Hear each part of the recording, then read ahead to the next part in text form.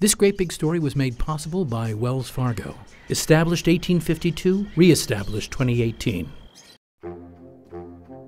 Once a bountiful fish found in the deep and rocky waters along the US South Atlantic coast and the Gulf of Mexico, overfishing now poses a serious threat to their ability to reproduce.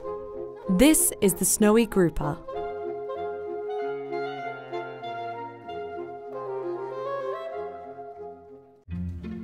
The snowy grouper is named for the white spots that speckle its scales. As the groupers grow, these spots tend to blend into the fish's natural brown colour. They will often eat crabs and small squid that they swallow whole with their large mouth. Snowy groupers all begin life as females, but as they age, some become males.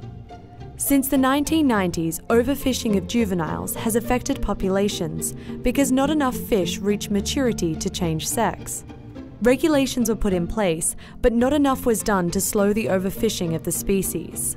The snowy grouper is now listed as vulnerable, and its populations continue to decline.